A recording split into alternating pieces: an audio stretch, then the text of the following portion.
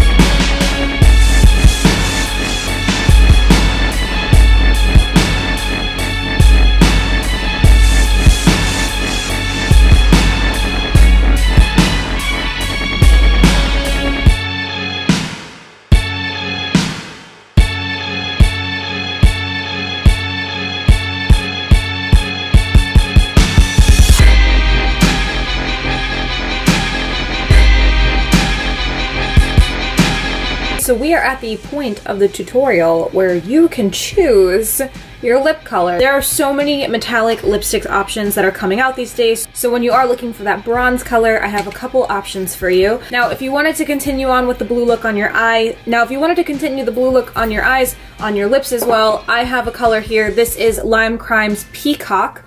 Um, it's a very dark blue color. In the bottle it looks a little bit lighter, but I'll show you. I'm just going to swatch it because this isn't the one that I'm putting on. So there is the swatch of Peacock. It's definitely not exactly the Ravenclaw color, but it's pretty close. Um, so this would be an option for a matte lipstick. Another option that I have for you if you're going more of a bronze look is Jeffree Star's Pussy Whipped. Um, I'm going to swatch this one because this also is not the one I'm putting on. So that is Jeffree Star's Pussy Whipped. That's another option. As you can see, the blue is still drying, but it would be matte and actually this metallic is matte as well, so when that dries, you would have a metallic sheen finish that would be completely dry to the touch. So the one that I'm actually going to use for this look is the NYX Cosmetic Metals in Speed of Light. This is a lip cream, so it is not matte. It does not dry down. It stays wet. But I do like this color because it's very easy to wear, and I feel like out of all of the metallics that I have, this is the most bronzy color.